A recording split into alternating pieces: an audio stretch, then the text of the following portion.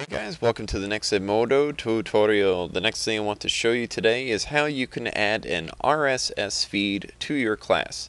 An RSS feed is basically when you could subscribe to a blog or perhaps a YouTube channel or a website that frequently updates their information.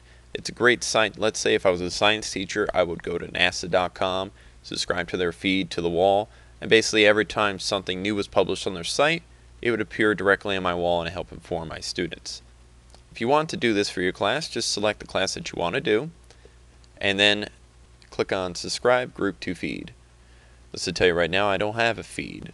So I'm going to go to a website that I would like it to, and here's my um, blogger site, and I already have my little option over here to my SchoolTube videos. So just find any website that has this little icon, right click on it, and go to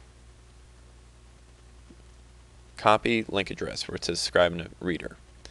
Then go back into Edmodo, hit add a feed, and control V to paste it and subscribe. I'll tell you right now it's going to feed and it'll take about an hour or so like it says. But that is how you can get your setup. So now basically every time I automatically upload a video to my SchoolTube channel, it's going to appear on this class's wall. If I don't want that, I can just go right back into that feed and unsubscribe it.